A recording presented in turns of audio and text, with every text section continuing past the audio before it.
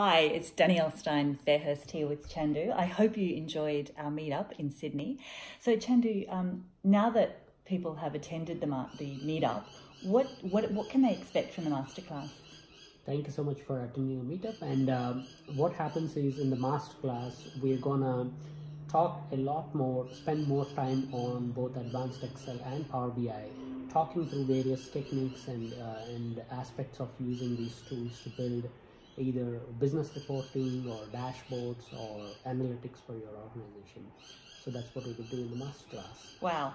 So is that what you're going to cover in the first two days dashboards and then the second two days two days on Power BI? Yeah. So, so the theme, the masterclass is running in two different themes. One is advanced Excel where we do on uh, everything around Excel. So we talk about Power Query and Power Pivot for Excel and how to use Excel to build reporting and analytics and in the second two days we are going to do it in Power BI uh, how to use Power BI, Power Query and Power Pivot to uh, build reporting and analytics and share it with the organization. So two different themes Depending on what you do, you could go for either of these classes or like some people do, you can attend all the four days. Mm. And, so you've uh, designed it so people can come to all four days. Yes, yes. Yeah. There is uh, very little overlap in terms of the content and uh, it's all fresh and uh, more suitable for modern versions of Excel mm. and Power BI. Because it's changed so much. It I does mean, change. Uh, like uh, I, I did these classes last year too, and I'm quite surprised how much new things are there in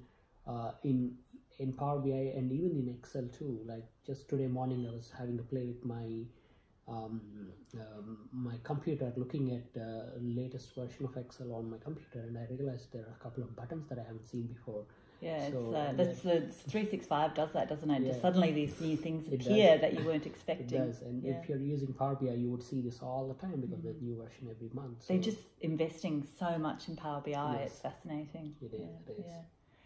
Wow, sounds um, sounds great. Can't wait. Yeah, yeah, yeah. So if you want to, if your job involves working with these tools day in day out, then definitely consider uh, going for this masterclass because it, it will definitely help you and like many of our previous delegates had mm. uh, the benefit too. Great. Well, I hope to see you there.